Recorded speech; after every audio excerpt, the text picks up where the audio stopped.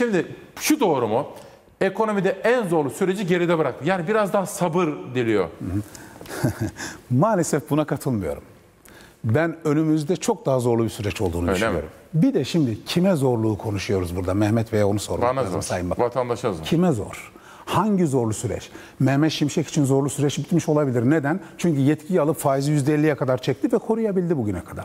Onun için zorlu süreç bitmiş Onu da iyi olabilir. yaptı ha. Yani- Ha şöyle söyleyeyim iyi derken e, hani piyasada hep şunu söylüyorlardı. e, Bu dünya dilini konuşacak ama yukarıdakiler izin vermezler diyorlardı.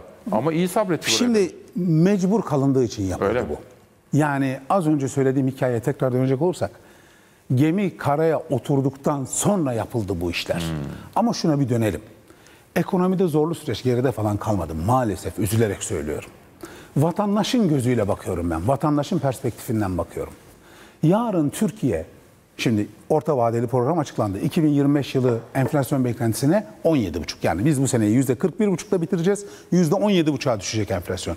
%17,5 enflasyona düşmek için para politikasında da mali politikalarda da belli bir miktar sıkılaşma gerekiyor. Bu sıkılaşma demek ne demektir? Yani önümüzdeki dönemde daha fazla neyi göreceğiz? Ekonominin yavaşladığını göreceğiz. Mesela önümüzdeki seneyle ilgili %4 büyüme beklentileri var. Ben bunun neredeyse imkansız olduğunu düşünüyorum. Eğer gerçekten enflasyonla mücadele etmeye devam edeceklerse. Türkiye %1,5-2 düzeyinde bir büyümeye gerileyebilir. Bu ne demektir? Eğer büyüme yoksa üretim yok. Üretim yoksa yeni iş sahaları yok. Yeni iş sahaları yoksa istihdam yok. Yani ekmek yok, aş yok. Bir yandan da şimdi zorlu süreci düşünelim. Geçtiğimiz senelerde ne oldu İsmail Bey? Yüksek enflasyon nedeniyle hükümet bir de seçime gidiyor. Mecburen yılda iki kere asgari ücret düzenlemesi yaptı değil mi? Bir senenin başında bir sene. Bu sene ne oldu? Hiçbir şey olmadı. Sene sonunda 2025 için yapılacak zam mı bekliyoruz? Mesela gerçekten geçmiş enflasyon yeniden şey yapılacak mı? Yo- Yoksa hedef enflasyona göre mi? Mesela IMF'den böyle sinyaller geldi. Ama dananın kuyruğunun kopacağı yer orasıdır. Ne- neresi bir daha söyle. Tabii. Aralık ayında önümüzdeki senenin ücretleri belirlenirken geçtiğimiz senenin enflasyonuna göre mi yoksa önümüzdeki senenin enflasyonuna göre mi bir şey yapılıp yapılmayacağı aslında hükümetin ne yapacağını bize Bunu söyler. açıklayın bize. Geçmişe dönük olursa ne olur? Hedef enflasyona göre olursa ne olur? Şimdi ortodoks ekonomi teorisi şunu söylüyor. Enflasyonla mücadele ederken talep tarafından gelen baskıyı durdurman lazım. Tamam. Şimdi fiyatlar artıyor. Bir enflasyon var.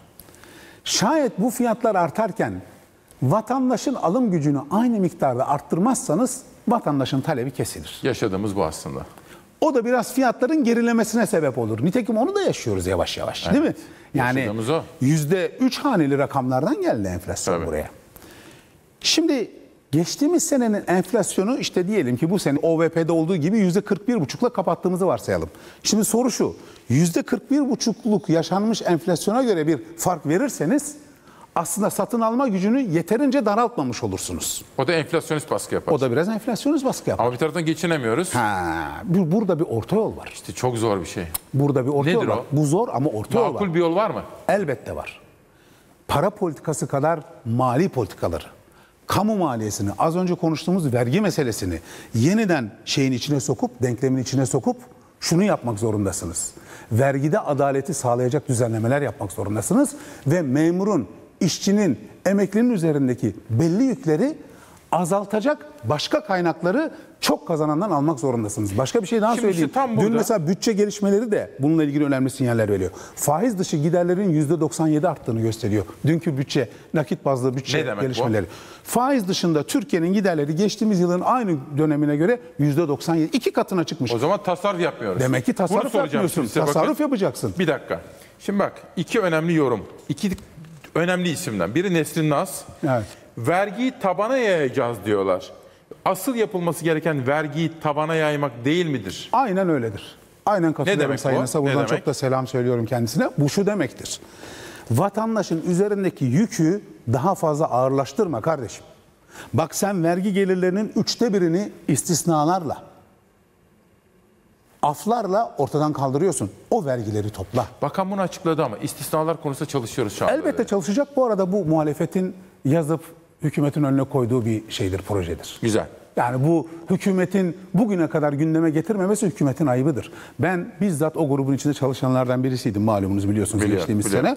Ben o dönemde iktisatçı arkadaşlarla birlikte hazırladığımız öneri paketinin en önemli parçalarından birisi vergide adaleti sağlamak için istisnaların e, azaltılmasıydı. Yine ne